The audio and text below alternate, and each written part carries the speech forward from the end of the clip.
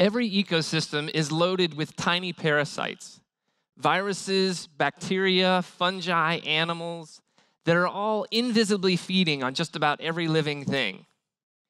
Many of you know a lot of these already by name ticks, lices, lice, leeches, tapeworms, essentially things that make your skin crawl. And in fact, our most common association with them is often when they make us sick. It's this association with human sickness that, in fact, causes us often to assume that parasites are all bad and they should all be erased. But I'd like for you to get to know them a little bit better because beyond just making us sick and making, us, making our skin crawl, parasites have fascinating, far reaching effects on organism behavior, ecology, and evolution. And they may even be very important in signaling to us things about environmental health. In fact, what I'd like for you to remember today is that parasites aren't always the villains. Many times they're the heroes. Now, I'd like to start by telling you three characteristics of parasites which make them special and interesting, and yes, even heroic. And I think that these characteristics will help set the stage for understanding why parasites are so important at reflecting the health of our environment. So these three characteristics are that parasites are speciose. They have a lot of species. They're high in biomass and they're integrative. They link species within an ecosystem. And I'll go through each one of these in a little detail. So let me start first by let's examine what it means for parasites to be speciose. A typical ecosystem has a lot of parasite species. Ecologists now tell us that parasites are the most common life form on Earth. Their commonality can be easily seen by taking a typical food chain perspective. This is a food chain like you might remember from middle school or high school biology, where you have a top predator like a killer whale feeding on a middle predator like salmon, feeding on a basal prey like zooplankton. And on the surface, this looks like a simple three species food chain. But if we zoom in in more detail, we see, for example, that this top predator, the killer whale, itself has a load of small parasites feeding upon it. And the same is true for each level below it. So you can readily see how the number of species of parasites can add up in a system. So a typical ecosystem has a lot of parasite species. The second characteristic is that parasites tend to have high biomass. By biomass, I literally mean the weight that they comprise in an ecosystem. Now, biomass is important in and of itself, but it's also important because it signifies the appropriation of energy within an ecosystem. I want to give you a tangible example of the biomass of parasites because this is very hard to get an intuitive feel for. Parasites are often small and microscopic and internal and spread throughout an ecosystem. Fortunately, some colleagues of mine recently conducted a survey in salt marshes of Southern California and Mexico. They quantified the biomass of all the parasites and all their opposites, the free living species. And they literally went in and weighed everything. And what they found was eye popping. The parasites were three to nine times the size of the bird biomass. That is, the parasites actually outweighed one of the major predatory groups. Let me put that figure to you a slightly different way. In one of their small 100 hectare marshes, the biomass of parasites was equivalent to two elephants. Now, if this parasite biomass were instead packaged as two elephants, there is no way that you could drive by this marsh without rubbernecking and wrecking your car. But because this parasite biomass is typically parceled out into small internal microscopic bits spread throughout the whole marsh, it's easily overlooked and it's easily glossed over. But you now, as the savvy audience member, can recognize that parasites can be the elephant in the room. The third characteristic is that parasites are integrative. They link and connect species in an ecosystem. Now, the most straightforward way to understand this is that parasites, for example, can fatigue their host. And when that host becomes tired, it might be more likely to be eaten. In this case, a predator would greatly benefit from such a parasite that infects its prey. A more sophisticated version of this integration occurs through what we call obligate multi host life cycles. In this case, a parasite actually needs several free living species to complete its complex life cycle. In my lab, we work a lot with a group of parasites called trematodes or flatworm parasites. In this particular life cycle diagram I'm showing you here, this trematode species needs three different free living hosts to complete its life cycle. And every trematode species has a different suite of free living hosts it needs to complete its life cycle. You can think of these life cycles as roadmaps. This is how a trematode species would move from host organism to host organism as it grows if it's going to successfully complete its life cycle. And these really are examples where truth is stranger than fiction. So, to walk you through this particular trematode's life cycle, it's very typical and also very illustrative. The trematode takes its larval stage inside a snail host. And it has a beautiful strategy where it doesn't kill that snail, it keeps it alive, but it converts it into a parasite larval production factory for the rest of the snail's life. Periodically, exporting stages of the parasite are shed into the water where they penetrate the tissue of a second host. For this trematode, that's a crab. But for a different trematode species, it might be a fish or a worm or another snail. And the parasite now forms a cyst, and that cyst can last for several months and it's waiting for the day when that second host gets eaten by a final host, which for this species is a shorebird.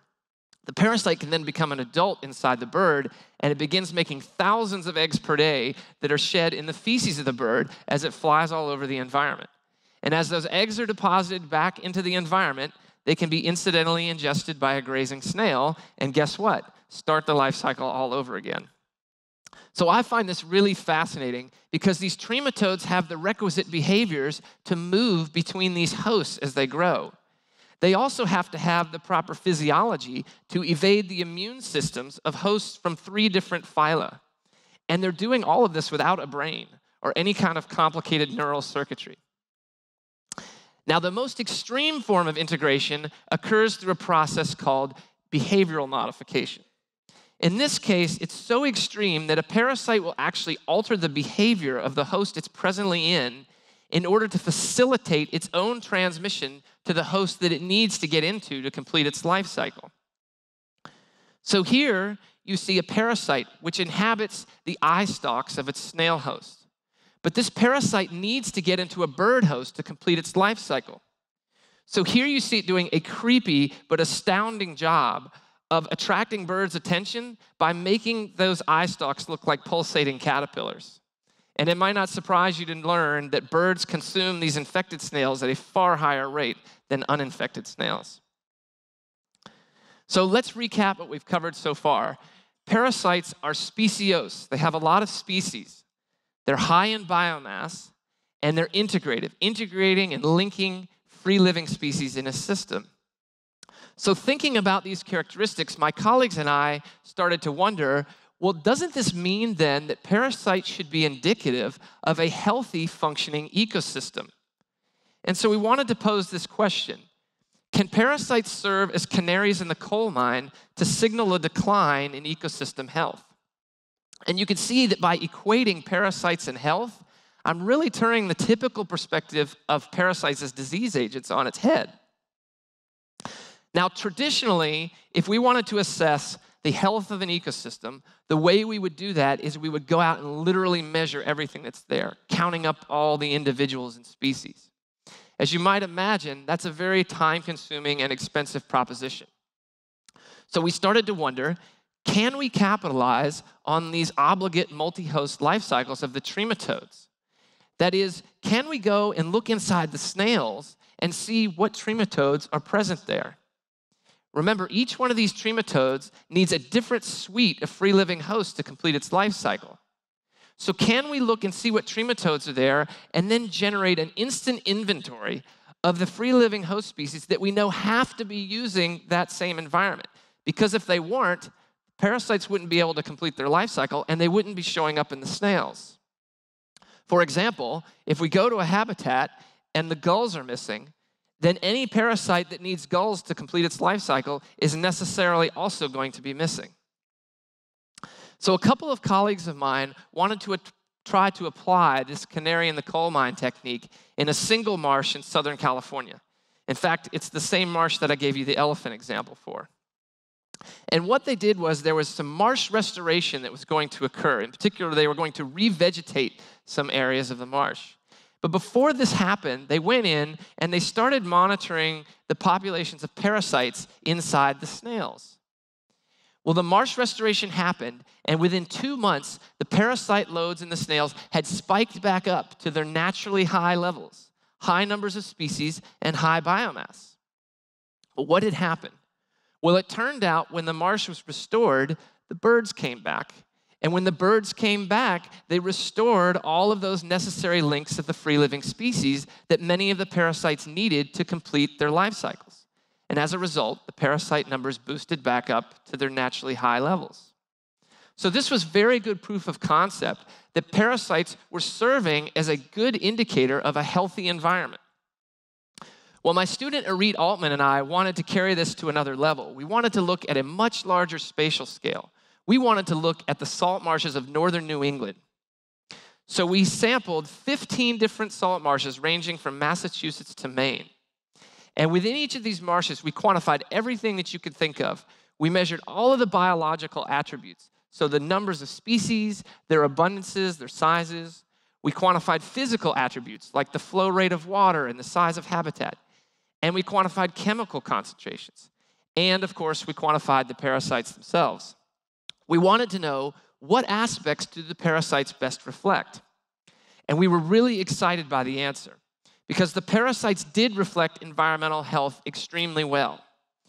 As we expected, they corresponded very well with the abundance of their free living hosts. But more startling was that the parasites were actually very sensitive to physical and chemical aspects of the environment as well. In particular, they were sensitive to human impacts. For example, the parasites were greatly depressed by high road density. The parasites also responded very sensitively to nitrogen inputs, which are a form of nutrient pollution.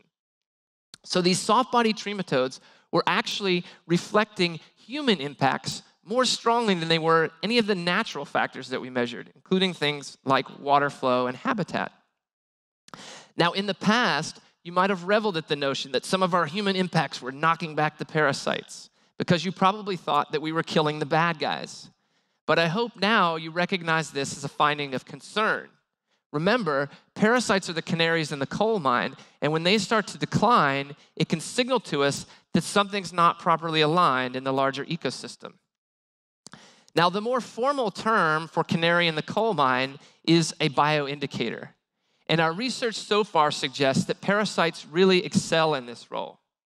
And now you all are privy to the reasons that parasites excel at this role. It's because they have these special characteristics for which they're not often appreciated. They're speciose, they're high in biomass, and they're integrative. And as a result, they can often signal a healthy, functioning environment. In a time when humans are affecting the environment in ways that we've never seen before, we need someone who can save the day.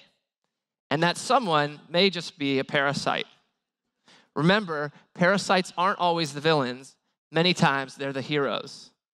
Thank you.